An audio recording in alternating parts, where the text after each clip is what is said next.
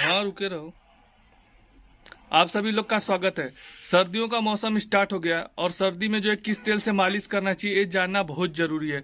क्योंकि हम गलती में जो है किसी भी तेल से मालिश कर देते हैं, जिसकी तरी ठंडी होती है और बच्चे को जो है सर्दी और जुकाम हो जाता है।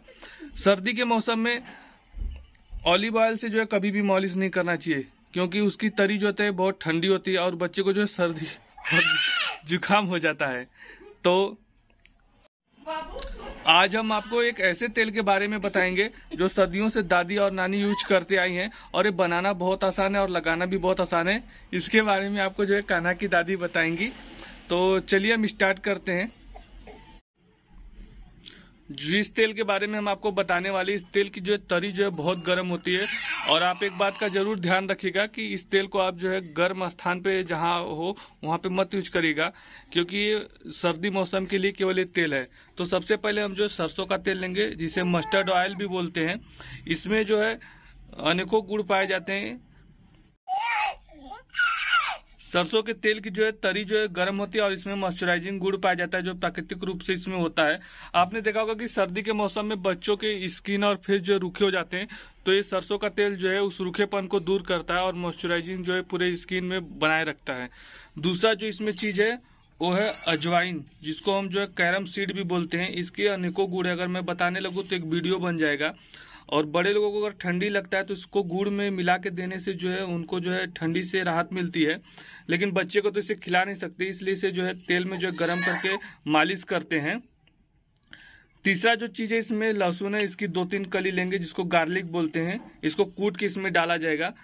और लहसुन में जो एंटीसेप्टिक गुड़ पाया जाता है, जो बच्चों की स्किन पे होने वाले, जैसे लाल दाने या तो कुछ भी चिकटे होते हैं, उसको दूर करता है। और सर्दी के मौसम में बच्चे जो बहुत ज़्यादा कपड़े पहनते हैं तो उससे खुजली होते, होने लगता है। तो इस खुजली को भी दूर करता है। तो ये लहसुन जो है एंटीसेप्टिक का काम करता है। तो चलिए, अभी मैं आपको सब बना के बताता हूँ कि ये कैसे बनता है। सबसे पहले जो है, कढ़ाई में जो है, सरसों का तेल डाल देंगे, गर्म होने के लिए। इसको जो है दो से तीन मिनट तक गर्म होने देते हैं। बोलो तो। तेल देखिए गर्म हो गया, अब हम इसमें जो है जवाइन डाल देंगे। डालो सिका ये देखिए जवाइन जो है डाल दिए हैं।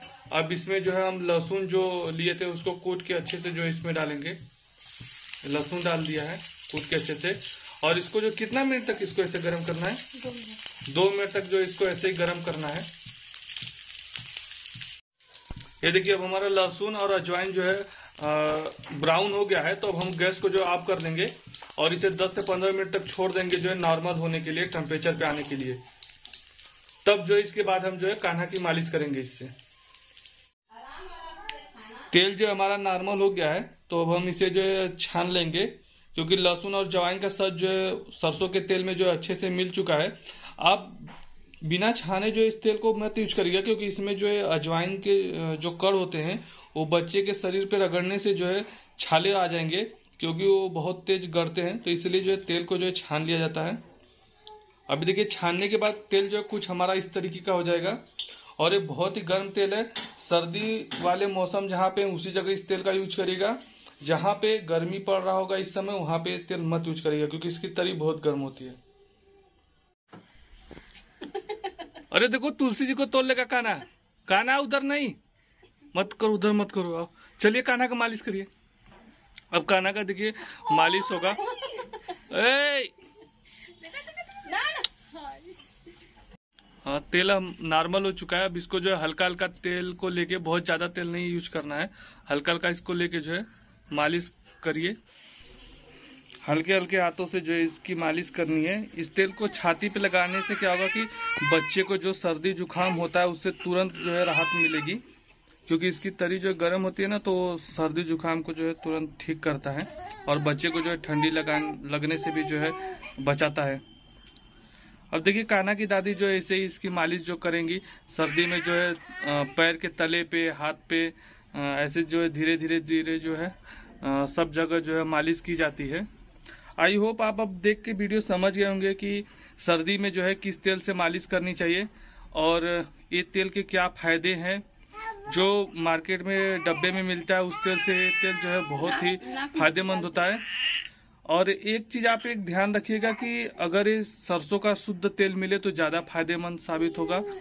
पैकेट वाले पे थोड़ा कम भरोसा करिएगा, क्योंकि उसमें आजकल बहुत केमिकल मिलावटी आते हैं। और थोड़ा सा नाक पे भी आप लगा सकते हैं, जिससे जुकाम में फ़ायदा मिलता है। तो आपको अगर वीडियो अच्छा लगा तो वीडियो को लाइक करके चैनल को सब्सक्राइब कर लीजिए, क्योंकि हम ऐसे ही बेबी टिप्स लाते रहते हैं, जिससे आपको अपने बेबी केयर को, जिससे आपको बेबी केयर करने में हेल्प मिलेगी। तो चलिए मिलते हैं नेक्स्ट वीडियो में एक नए ब्लॉग के साथ।